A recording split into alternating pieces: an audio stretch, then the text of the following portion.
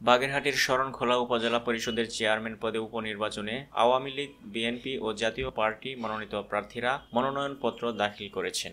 বুধবার দুপুরে আওয়ামী লীগ মনোনীত প্রার্থী রায়হান উদ্দিন শান্ত ও বিএনপি মনোনীত প্রার্থী খান মতিয়ার রহমান শরণখোলা উপজেলা নির্বাচন কার্যালয়ে উপজেলা নির্বাচন কর্মকর্তা অঞ্জন সরকারের কাছে মনোনয়নপত্র দাখিল করেন।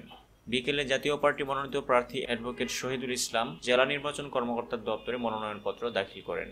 বাগেরহাট জেলা নির্বাচন কর্মকর্তা ও উপনির্বাচনের রিটার্নিং কর্মকর্তা ফরাজি বেনজির আহমেদ বলেন, মনোনয়নপত্র জমাদানের শেষ দিনে আওয়ামী লীগ, জাতীয় পার্টি ও বিএনপি মনোনীত তিনজন প্রার্থী তাদের মনোনয়নপত্র দাখিল করেছেন। এই পদে কোনো স্বতন্ত্র প্রার্থী মনোনয়নপত্র দাখিল করেননি। দুই হাজার উনিশ সালের পাঁচই ডিসেম্বর শরণখোলা উপজেলা পরিষদের চেয়ারম্যান কামাল উদ্দিন আকন মারা গেলে পদটি শূন্য হয়। দীর্ঘ দশ মাস পরে চোদ্দই সেপ্টেম্বর নির্বাচন কমিশন উপজেলা পরিষদ চেয়ারম্যান পদে উপনির্বাচনের তফসিল ঘোষণা করেন। তফসিল অনুযায়ী তেইশে সেপ্টেম্বর মনোনয়ন মনোনয়নপত্র জমাদানের শেষ তারিখ, ছাব্বিশে সেপ্টেম্বর যাচাই বাছাই, তেসরা অক্টোবরের মধ্যে প্রার্থিতা প্রত্যাহার এবং বিশ অক্টোবর ভোট গ্রহণ অনুষ্ঠিত হবে।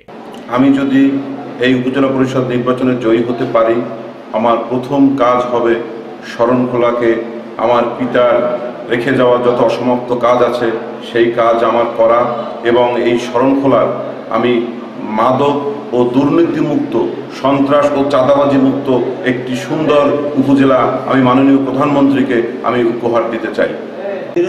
নিরপেক্ষ ভূমিকা থাকলে প্রশাসনের নিরপেক্ষ ভূমিকা থাকলে মানুষের গণতান্ত্রিক অধিকার প্রয়োগ করতে পারলে নিশ্চিত ধানের শীষে জয়যুক্ত হবে। আমাদের নতুন নতুন নিউজগুলো প্রতিনিয়ত আপডেট পেতে আমাদের ইউটিউব চ্যানেলটি সাবস্ক্রাইব করুন। এবং ডান পাশের বেল বাটনটি চাপুন। ভালো লেগে থাকলে আপনাদের সোশ্যাল মিডিয়ায় তা শেয়ার করুন। আমাদের সাথে থাকার জন্য ধন্যবাদ।